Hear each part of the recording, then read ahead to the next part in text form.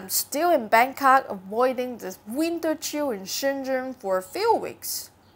Back in Shenzhen, I use Sony camcorders and the Rode Wireless Filmmaker Kit. You can see this setup in the earlier video I did about what equipment I use. That's all a little bulky for travel though. So I picked up the Saramonic Blink 500, a much smaller wireless microphone. I'm going to be testing how that works compared to a USB lavalier mic connected to my phone and the Instamic, a standalone audio recording device I'm wearing right now. This video is being recorded with my Nubia Z20, which I also reviewed previously. It's a great bet for low-cost vlogging phone. The Instamic and the Blink 500 do different things, so this is not really a comparison. I'll just be showing you what they do and what don't do well. The Instamic is a standalone audio recorder. That means you add its audio track to the video in post-production. The Blink 500 is a wireless microphone. It replaces your camera's built-in audio. This is much more convenient, but it also means fewer audio tracks during a shoot. And more tracks means more options for clear audio in post-production. Okay, let's unbox them and take a look. So what I have here is the USB microphone that a lot of vlogging bloggers use. It's not a if or or situation because if you, you don't carry this, you always have this, right? So get one of this no matter what. Now I am going to plug in plug it into my phone and record it and see uh, the quality of it. So voice recorder is recording. Hello, hello, testing one, two, three, testing, testing. You know, there is a clip. You can also put it on your, um, you know, clip it on your shirt and then put the phone in your pocket. Right now, it's done. We all right. Not bad. So get one of this is cheap. The next, let's take a look. This two, this two, okay. This is what I use in Shenzhen. You see the, the camera, I put this on the camera. And this is the transmitter. And this one, the Blink uh, K500 UZ receiver, you just plug it in to your phone. Let's open it. Now, take a look. Wow. Wow, it's tinier than on uh, than the pictures show on the box. So this is their transmitter, two of them, and this is the receiver. You can just plug into the phone. Ah, and now it's blinking. All right, I'll test it outside. So what is in here? Probably USB cable. Yeah, right, there are some USB cable in there.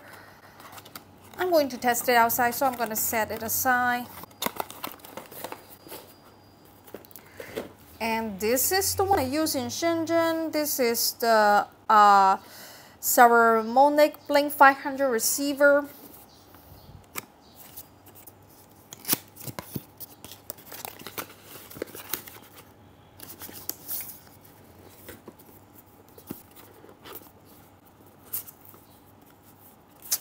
Same very small this one. And it only have a clip not uh, magnetic like the one the Instamic so I'm gonna be using that to, to demo that to you later. USB cable right? The packaging is not bad and the quality feels good. Okay this is the Instamic just like the one I'm wearing. Let's open it Oh, let's see what's in the box. So this is their uh, covers, like a sock. Socks you can put on the Instamic to change the color. Mine is, the one I'm wearing right now is just black. But this one is white, I think.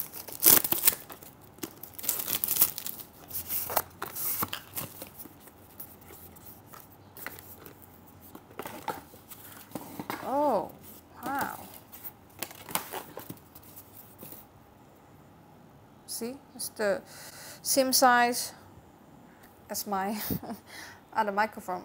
The open source Creality 3 is under $200 and can print thousands of different standard pieces of photo gear, often in under an hour. It's a great investment for any photographer.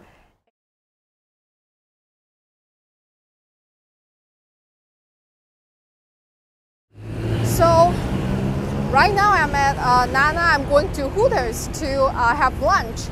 And I'm also wearing my Instamic, my uh, Summer, Summer Saramonic mic and my USB microphone, a lavalier microphone, and I'm recording three of them at the same time. I'm holding my phone on one hand and holding my gimbal on the other hand. Uh, it's pretty sunny outside. I don't know if this footage will come out um, okay because the sun is so harsh. Okay, right now it's better, it looks better. And you can hear the noise in the background, right? Because a lot of traffic, just a lot of traffic, a lot of cars. Same, they have traffic light in this street, but it's always an adventure to cross the road. Speaking of which, a car is in front of me and I hope it doesn't bump into me. Oh my god, so I, I came here so early. In the afternoon, it's still early. I like Hooters, like a lot. So right now I'm going in. Right.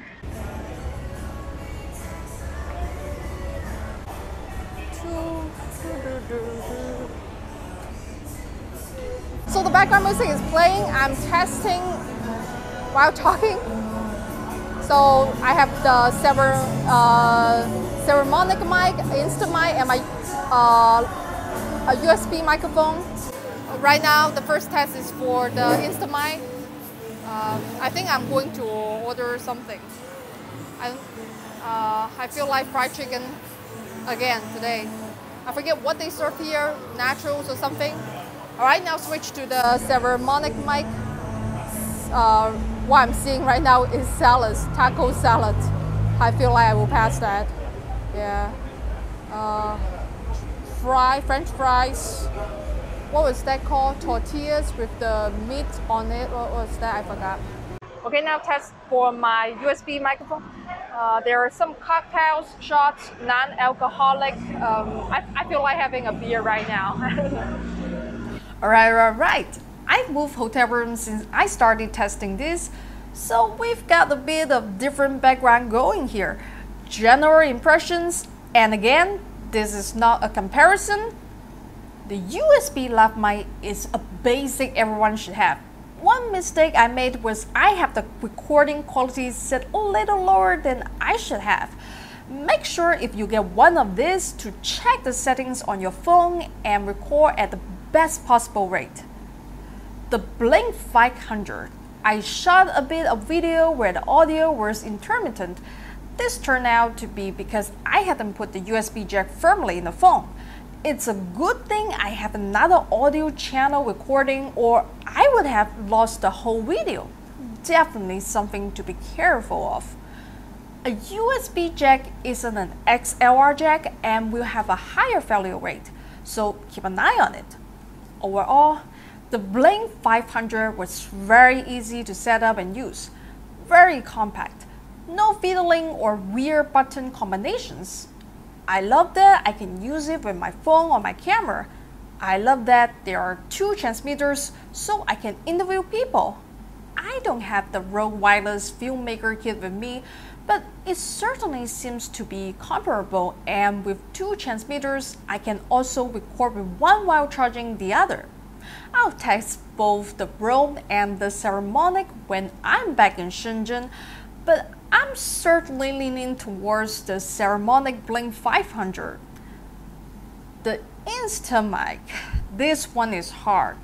I really hate it, but I also need it and use it constantly. I've had the Instamic for several months, and you may have seen it in a few of my videos. The size is perfect. The memory space is more than in love. The battery life has been uh, sufficient and the audio quality quite good. But the firmware flushing procedure requires a long process where you have to register at their website first, download an app and a firmware file, and then flash the Instamic from your computer. You can't just upgrade it over Bluetooth from the mobile app. You also can't just drag the firmware file to the Instamic when you have it mounted on your computer as a drive. You have to use their Dagi app. Even then, I could not get the firmware update to take.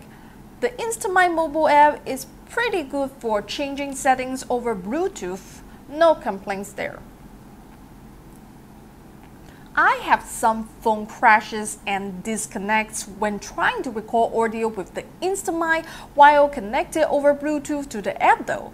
So it's really best for changing settings, not control or monitoring while you're shooting.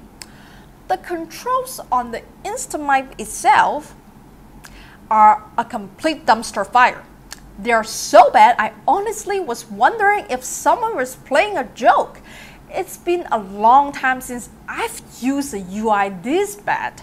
There are three LEDs that light up in encrypted combinations you are supposed to remember.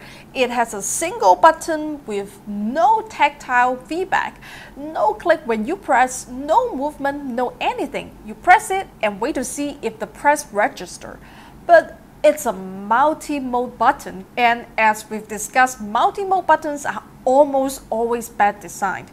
So you have to turn it on, activate and deactivate with a series of long and short button presses, which you will always forget because they're completely non-intuitive and you have a hundred other bad UIs in your life to keep track of. Then once it's been recording for a bit, all the lights go off and there's no way to know from looking at it if the battery died or if it's still recording.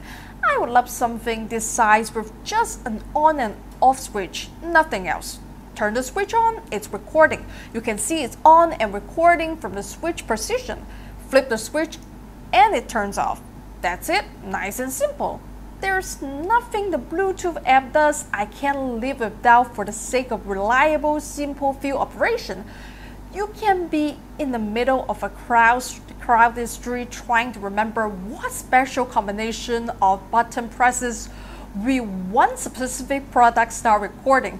I don't have a crew, it's just me. I also need to maintain situational awareness and pay attention to what's going on around me. I don't need to be distracted by fiddly equipment. Last, the Instamic has this little clip and a magnet. It's really fragile, it's the only way to attach anything to the Instamic, and it's not compatible with any other photography grip equipment. Hot shoe mounts, quarter, 20 threads, GoPro mounts. If you want to mount your Instamic to your gear, you're looking at zip ties and double stick tip. Unless you 3D print your own, right? Not so fast. After breaking two microphone, microphone clips, I asked them to send me the CAD file for the clip so I could just print my own and adapters to standard photography gear. They refused. This clip is not the body of the microphone. You cannot reverse engineer anything from it to knock off their product. The only reason to do this is if you know the clips break and want the consumer to keep buying replacements from you. That means you have no incentive to decide something that does not break because you're selling a consumable. It's a complex organic shape that would take me half a day to model in CAD. And frankly, with the way they're going, I'm not convinced they are going to be around long enough to make me investing that much of my time in their product worthwhile. The Instamic is a simple product, a small audio recorder made overly complicated to justify charging a premium price. Personally, I would pay the same for it to have less features and more a reliable design. My feeling is probably somebody will make something simpler and better pretty soon. That being said, all my dislike for the Instamic design aside, I use it all the time and I have not found anything better. having an extra audio track is cheap insurance on lots of videos. Some of my cameras don't have a microphone jack. I use the Instamic with them. Yes, it's very poorly designed and the company does not seem to care about those design issues, but it's not easily replaceable yet. If I lose it tomorrow, I would buy a replacement. I would be screaming at myself the whole time. But it does pay for itself and it is a very useful product for vlogger. That said, it's not the first microphone I would buy. I would say first buy USB lav mic, then the small shotgun mic, then the wireless lav mic like the Blink 500, and then the Instamic. There we go. I hope that was interesting. Thanks for your patience while I'm in Bangkok waiting for the situation in China to improve. I'll be back there and back to doing DIY videos as soon as it's safe and practical. Until then, thanks for watching and remember, if I can do it, anyone can do it.